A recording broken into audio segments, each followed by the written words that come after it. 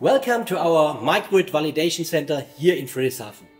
Here we prove that the different technologies we offer to generate power and store energy are working together efficiently and the energy system performs the functions requested by our customers. Renewable energies are not available continuously, but the demand for energy is 24-7 all year.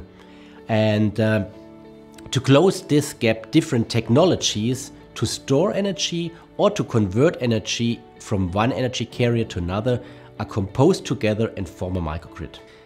What you can see here is basically how we set up our visualization on the one hand side. Left down, this is our single line diagram, so you can really uh, tell what the system looks like, all the switch gears, all the assets, all the details. If you go in there, you can just click on it and you will see the whole details. You can also control it from that view. Uh, to the right hand side, that is really made here for the validation center. It's a different sequences of operation we can provide um, and we can just click through it and tell, okay, that is a typical uh, sequence of operation when it comes, for example, to emergency power. And the top, the big picture is really the overview. Here you can see the, the flow of energy and stuff like that.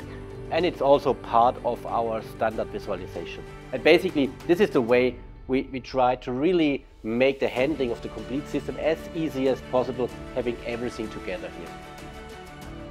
Our battery container is uh, basically split up in a couple of different compartments. First one here is the control room. We also do have batteries here, smaller batteries for powering up the whole system to be black start capable. Um, but the most important thing really is the next room. So here are the batteries. Uh, a lot of racks that we have organized here. In total, we can store one megawatt hour of energy. Um, going through the next door, basically, we will find the connection from the DC world, from the batteries to the AC world. Behind that door is basically then the, the inverter that brings the, the DC power from the batteries into our low voltage um, distribution network. Um, you can much better see it here from the outside. Um, that's then basically the end of our system. You can see the heart of our fuel cell systems. It's really the, the fuel cell modules themselves. Um, we arrange them here in a, in a rack. Um, one of them really open so you can see inside. Um, but this is still a demonstration uh, setup here. The special about this is really the modularity. So having modules like that, you can scale from a very small system all the way to a really big system, um, having all on one technology. That's a big advantage for us. Here we do have our Series 500 gas engine and it's the first one we can really run from natural gas 100% to hydrogen 100% and everything in between, so every mixture is possible. It's a 170 kW engine and the genset around it. So here we are now coming to our CHP unit. It's running on natural gas.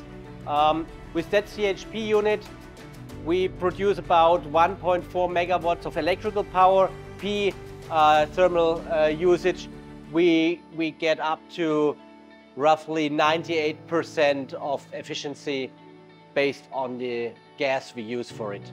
The automation and controls has two major tasks. First, making a complex system easy to handle, and second, get the best performance out of that system. MTU EnergetIQ covers the control of the complete site, of the individual assets, and has direct access to the control units of the components below. This brings the opportunity to optimize controls even crossing the borders of control units. So we can orchestrate the complete system and optimize all technologies together.